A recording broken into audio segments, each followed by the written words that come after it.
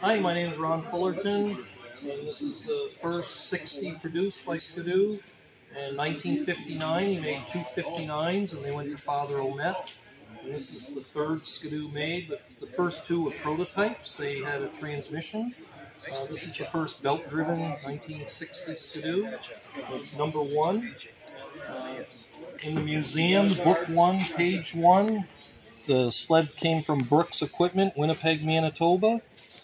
Um, Bombardier actually gave this sled to Father Straw. The five of the first 60 skidoos went to uh, Catholic missionaries.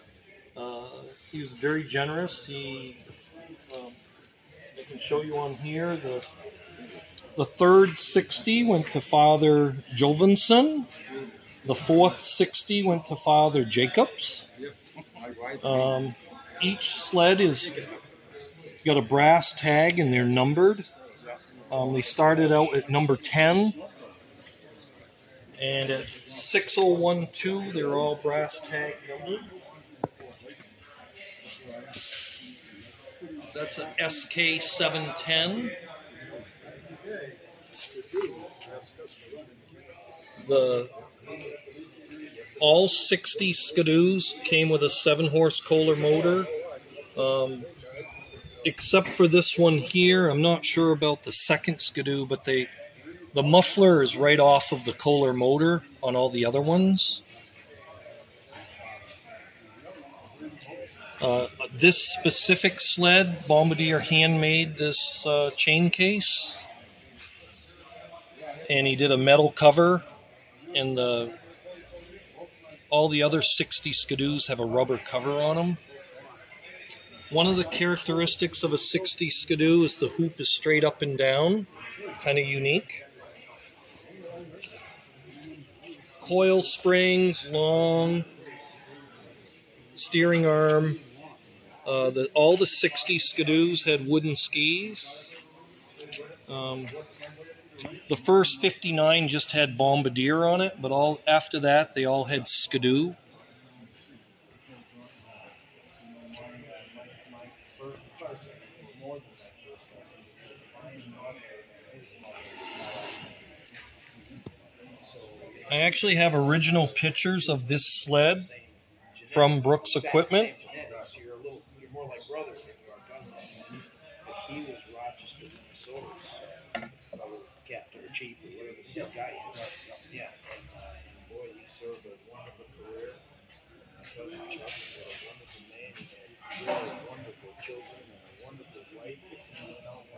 And Mike Forbes painted the sled for me.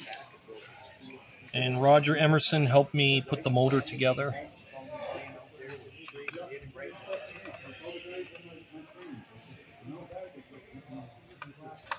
This is some of the collection of steel cab skidoos I have. And part of the history of my sled is that Richard is Richard Isfield bought the sled probably in around 1970. He was a skidoo dealer. This is him winning a race in 1965. And uh, he had the sled for 50 years. Um, he just recently passed away, and I was able to buy the sled from his family. Um, here's a write up on the sled a little bit that it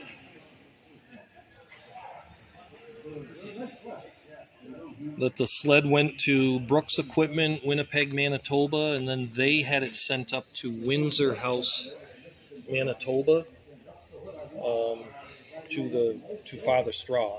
And the history of it is that I'm assuming Bombardier gave the sled to Father Straw, a very generous person, and was part of the part of his legacy that he, he was a Catholic person, and uh, prior to giving away, prior to doing the snowmobiles, he he gave him other traveled vehicles like a B12. the 60 skidoos, the the motor mount is bolted straight onto the sled. Uh, the 61, there's a rubber gasket on it. Um, what are some other the the bogies are the big bogie wheels with their metal. They're very quite heavy. This particular 60, the hoop is a little higher than the rest of the 60s. He tapered that down a little afterwards. Um,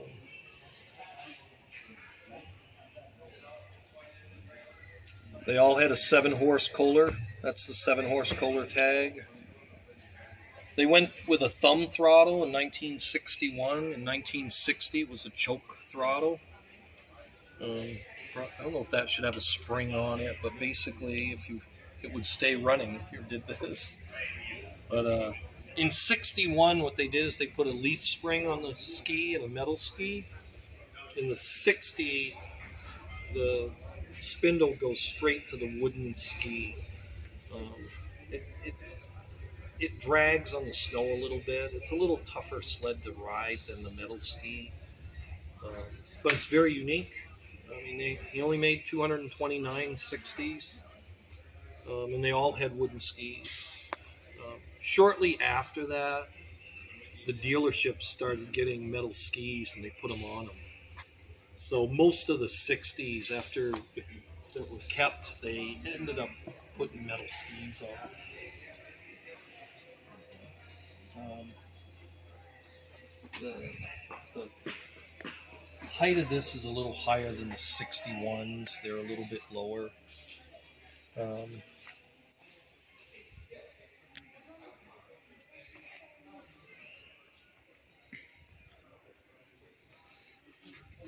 I don't know when. The, very shortly, they ended up putting Miller headlights on them, but the first sleds didn't have any headlights.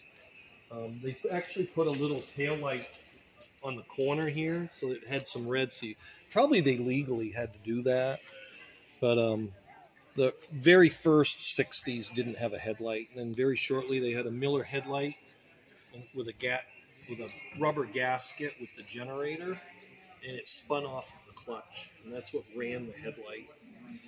Um, they didn't work very well, um, but they didn't have a magneto that ran a headlight. That's how they ran it. It's off the clutch.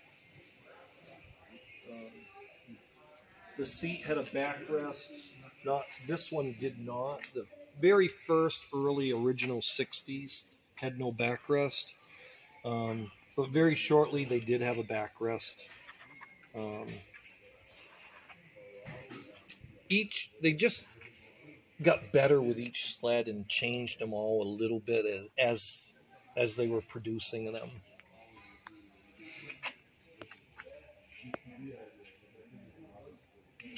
The big bogies, by 1962, they went smaller, lighter bogies. They went a smaller chassis, much lighter, shorter skis. The 61 skis are the same length as the 60 wooden ski. Um, very shortly, the 62, same when you got to fiberglass. In 63, they went fiberglass with a Rotax two cycle. Uh, all the early, every 60 was a four stroke, seven horse Kohler. In 1961, most of them were four strokes, and they then they went with a JLO two-stroke motor on some of them, and they were quite a bit faster. And by 63, they were um, introducing Rotax with very limited Kohler motors also.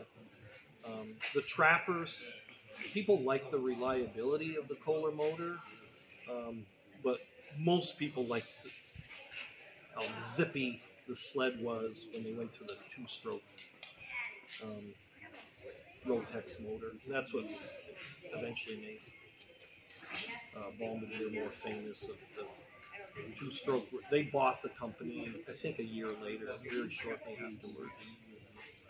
So, anyway, any questions? No, that's it. Okay. Thank you. Yeah. I sometimes forget that what, what people would know or not